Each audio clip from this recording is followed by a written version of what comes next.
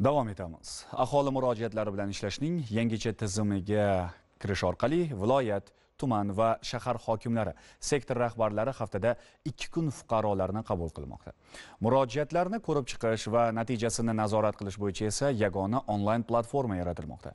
Aholi murojaatlari bilan ishlashning yangi tizimi bo'yicha qoraqalpog'istonda ham sektor rahbarlari bilan ochiq muloqotlar qabullar o'tkazilmoqda.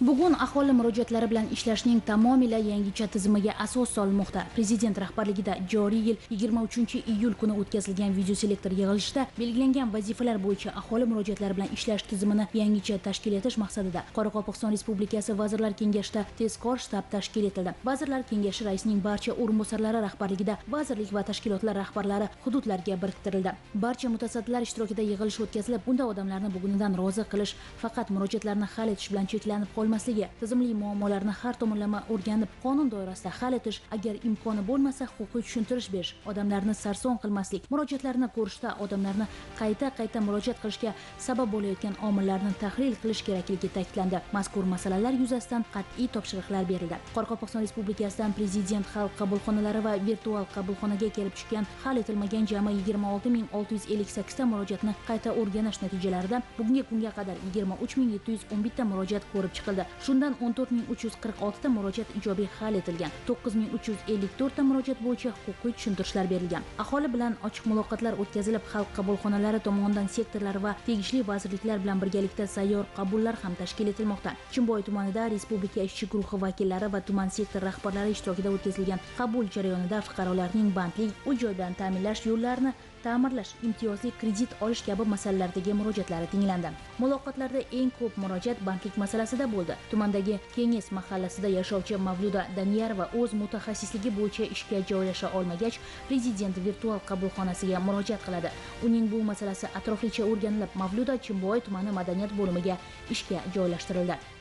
2010 жылдан бері жұмыс мәселесі бойынша қиналып келген едім.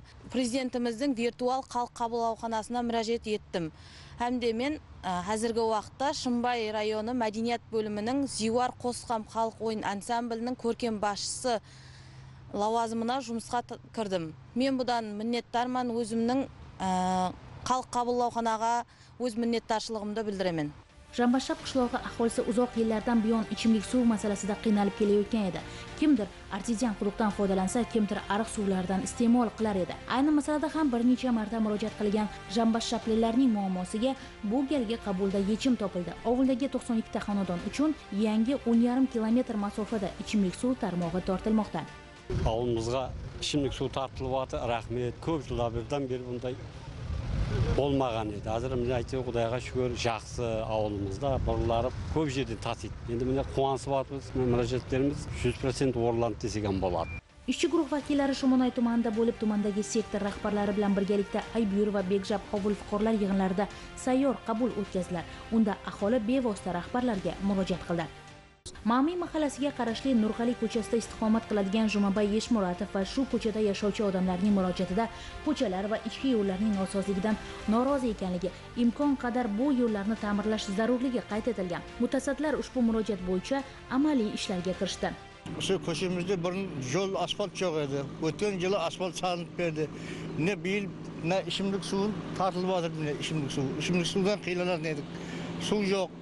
Boda bir qolib edi ko'chamiz bo'lmagandan keyin hozir mana besh olti kun bo'ldi mana yigitlar kelib boda bir yotir ichimlik suvini murojaatlarimiz o'rinlanib yotir respublika ishchi guruhi va kegeli bo'zotov tumanlaridagi sektor rahbarlari ishtirokida tashkil etilgan qabullarda prezident xalq qabulxonasi va virtual qabulxonaga kelib tushgan murojaatlar qayta o'rganilib tahlil qilindi. Murojaatchilar bilan yuzma yuz muloqot qilindi. Mas'ullar qonun doirasida yechiladigan murojaatlarning aksariyat qismini qayta ko'rib ijobiy hal etish harakatiga kirishdi. Bo'zotovdagi qusxonatov ovulida yashovchi shirin Do'stbergenova o'zi yashaydigan uyi qoshidagi ortiqcha yerga kadastr hujjatini rasmiylashtira olmay ovora edi. Bir necha marta qilgan murojaatlari ham javobsiz qoldi. Bugun esa murojaat qayta o'rganilib tegishli tartibda hal etildi. Aholidan kelib tushayotgan murojaatlarni joyida hal etish borasida aniq va tezkor choralar ko'rilmoqda. Yechimi ma'lum vaqt talab etiladigan murojaatlar bo'yicha tegishli tashkilotlarga ko'rsatmalar berilib ijrosi nazoratga olinyapti. Bu xalq davlat organlariga emas balki davlat organlari xalqimizga xizmat qilishi kerak degan xalqparvar tamoyilning yana bir amaldagi isboti.